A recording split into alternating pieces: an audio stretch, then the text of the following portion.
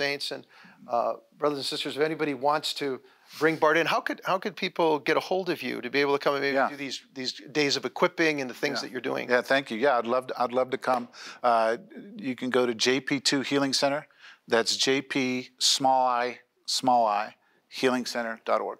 JP2 healingcenter.org.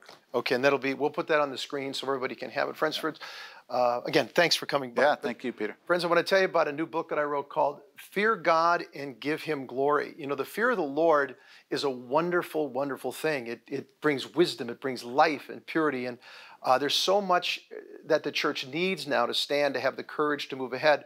So, in order to get this booklet, there's going to be information coming uh, in just a few minutes about where you can find it. Go to our website. It's all there for you. Until next week, this is Peter Herbeck saying, God bless you. Let's give our hearts to a loving Father. One of the most overlooked yet foundational spiritual gifts is the fear of the Lord. The scriptures call this gift a fountain of life, a source of confidence, and the beginning of wisdom. Today, our culture, politics, and even the church are in crisis.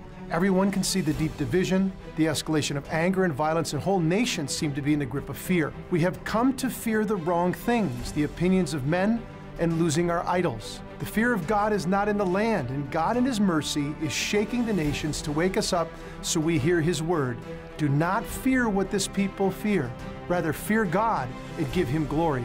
In this booklet, I explain the fear of the Lord, why it is an antidote to the current crisis, and how you can awaken this gift in your life. To receive a free copy, visit our website or call the number on the screen.